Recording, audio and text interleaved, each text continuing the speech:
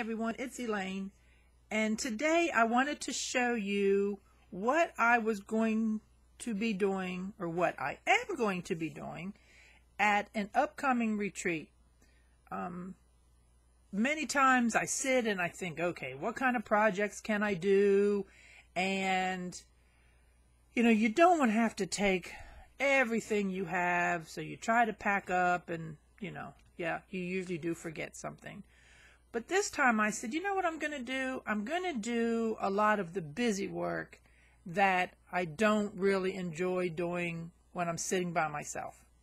All right, so I'm going to show you here real quick some of the things that I'm going to do.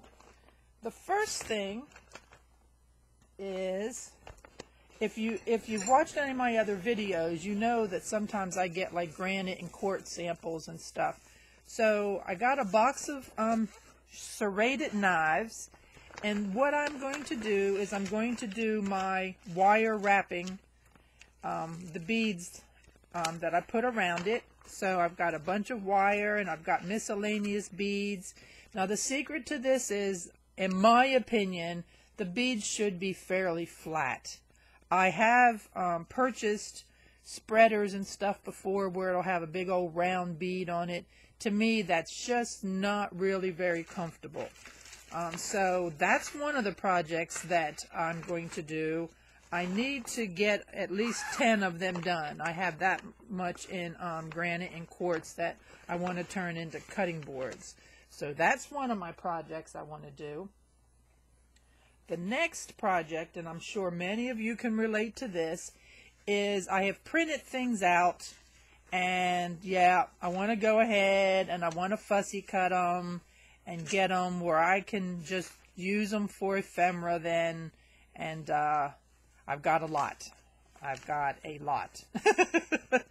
so, and then underneath of all of this, I have, those are poems that I want to do. Underneath of all of this, then I have just some plain coffee stained paper because these are, most of them um, are not, they're already on coffee stained paper, but it's just kind of papery. So I'd like to make them just a little bit more stout.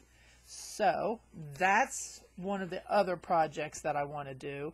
And I like having an assortment of projects when I go because you're usually there three, four days.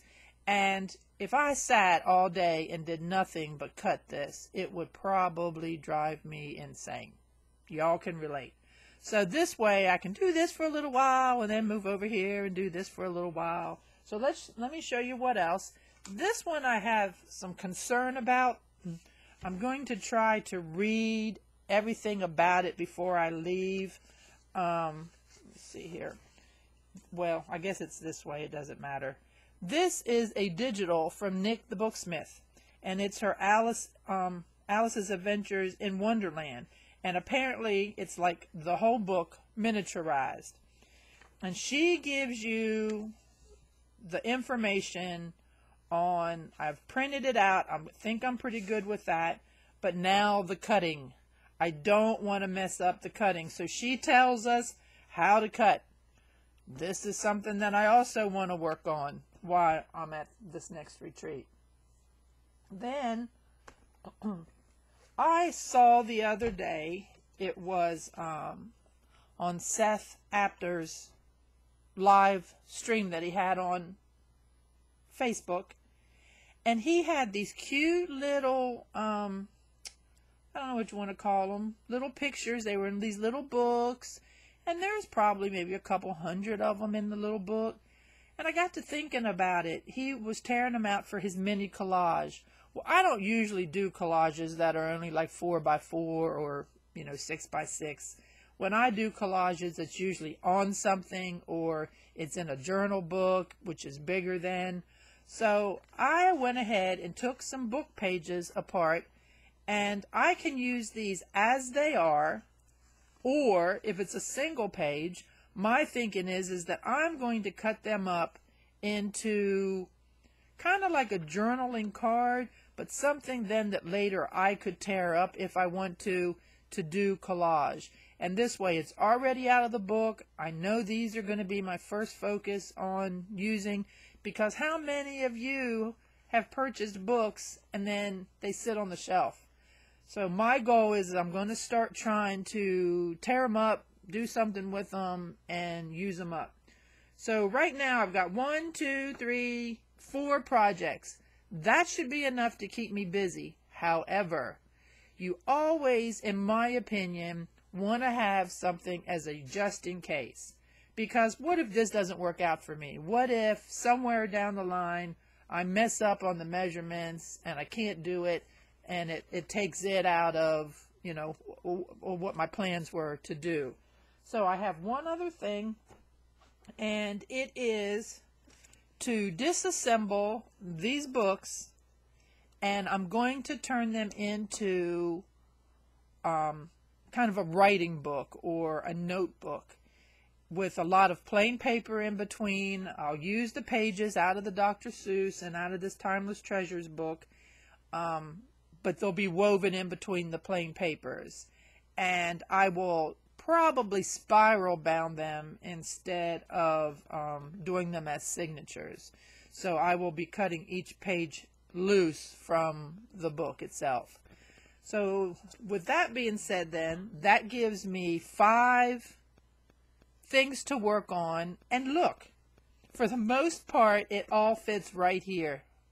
That's unbelievable because many times I have filled up my trunk on the way to a retreat because I have so many different projects I want to do and the stuff just takes up so much. So with this then I'll have a tool bag, you know, that'll have scissors and ruler and stuff like that. And I will take either one or two paper cutters, maybe a big one, but definitely a small one. Not sure about the big one. And yeah, I'll have glue and stuff like that in my tool bag. So other than this, I'll have a tool bag and a cutter. That's it. So this next retreat, thank heavens, I will be traveling light. Now, I would like to hear from you. Do you want to do retreats? Do you go to retreats and maybe don't have ideas on what to do when you get there? Um, pretty much anything goes. The main thing is to not infringe on someone else's space, to be a team player and go with the flow.